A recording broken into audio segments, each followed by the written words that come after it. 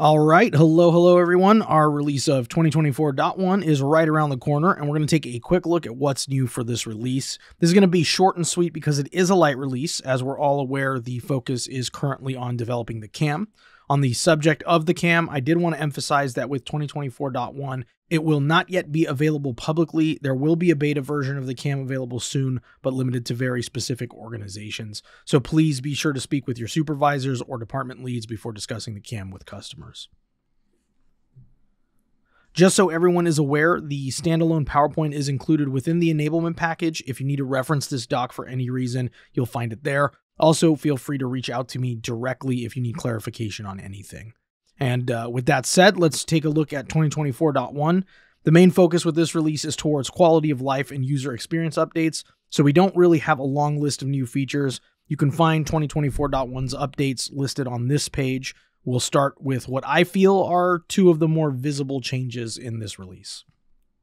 The first is versionless display names and resource files. Uh, 2024.1 and onward will introduce a more versionless experience, starting with the removal of version numbers from the application's name in the operating system. This means that application icons, resource folders, and installation folders will simply be designated as keyshot, which is illustrated to the right of the slide. Going forward, this also means that dev will no longer have to rebuild and retest plugins during each release, and there will hopefully be less conversation around plugin compatibility with customers. However, internally, we will still define releases by .1, .2, and .3, uh, and so on. On to the next one. Most of us are likely familiar with image sharpening due to our smartphones and social media platforms. Well, in 2024.1, we've added image sharpening as a new effect to the image tab. The biggest UI change here is that there are two new parameter settings that control the effect. I have those listed on this slide. One is intensity, which essentially just adds contrast to detected edges, and the other is radius, which adjusts how much the effect spreads out from the sharpened edges. Again, this is a pretty common tool in image editing software and mobile apps, so it's very intuitive for most people to use. All right, super quick look at the sharpening feature here. I've put together this scene. It's kind of got a lot of textures and details. That's what's really going to pop when you use the sharpening feature. So we're going to jump over here. We have the image tab open. Under the image tab, under the parameters, we have sharpen. If you go ahead and you click that little arrow, you're going to have the two different settings I was mentioning, intensity and radius. That's under both the basic and the photographic image settings.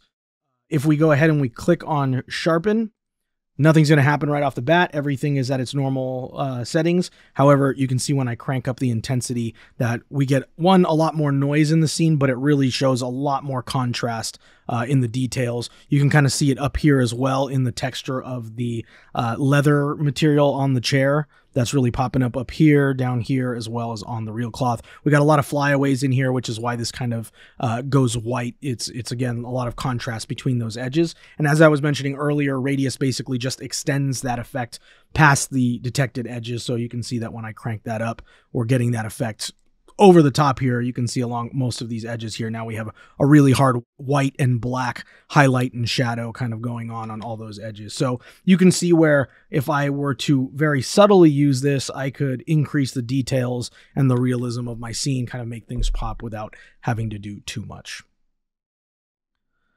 All right, the next couple slides are web viewer updates being rolled out at the same time as 2024.1. Here we have our release of WebViewer 5.2. With the release comes a web based implementation of the configurator. This essentially translates to better performance when you're interacting with your 3D scenes. The configurator has also received some UI UX based improvements, including better responsiveness to user actions and changes to screen size uh, across your devices, such as going from a mobile based platform to your PC. Aside from that, support for image sharpening, which we discussed in the previous slide, is included in WebViewer 5.2.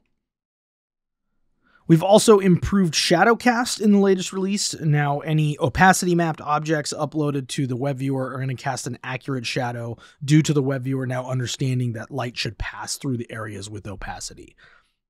And another performance update for WebViewer is the addition of frustum culling. I know it's a bit of a mouthful, but at the end of the day, this just means that the WebViewer only actively processes 3D data that's visible in the WebViewer's field of view, which translates to a much higher frame rate, and overall better performance.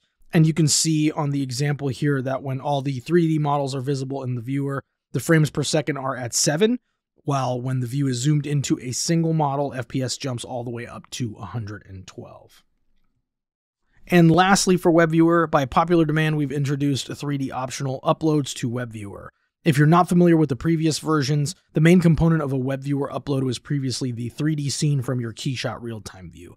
This is now an optional component when uploading, which means customers can now deliver high quality imagery, XRs, and support data without having to bog the viewer down with a 3D scene if they'd prefer.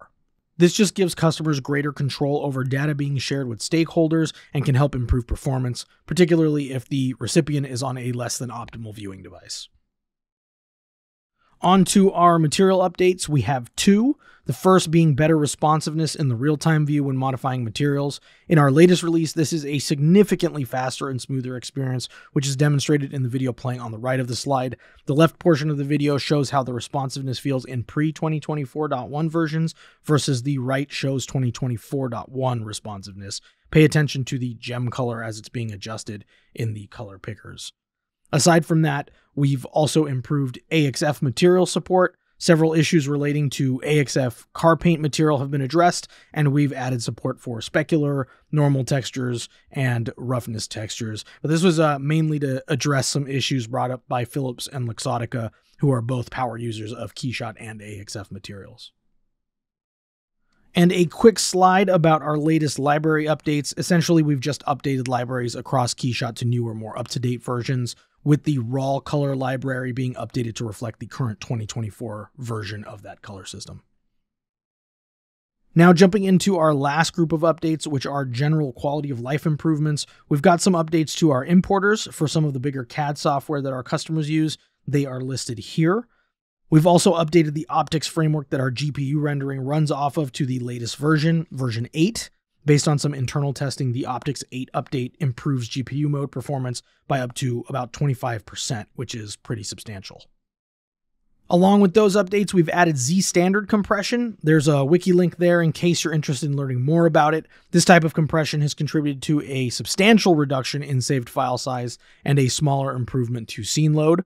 Overall, seeing about a 33% reduction in file size from original file sizes, and scene save times are about 10% faster. On this slide, we also have camera refactor updates. This is more a back-end code update to the camera keyframing system. Customer-wise, in the short term, it's just going to give them expanded use of undo and redo relating to keyframing workflows, so they'll be able to use undo and redo outside of just adding and deleting keyframes. And lastly, we have the addition of an auto cleanup function for network rendering. This allows customers to auto delete from the network monitor rather than having to manually delete completed jobs. This basically translates to a faster, easier to navigate, and more reliable network monitor and manager. And that's it for our 2024.1 updates. Again, if you have questions about anything in our What's New doc, feel free to reach out via Slack and I'll be happy to clarify anything for you. Thanks, everyone.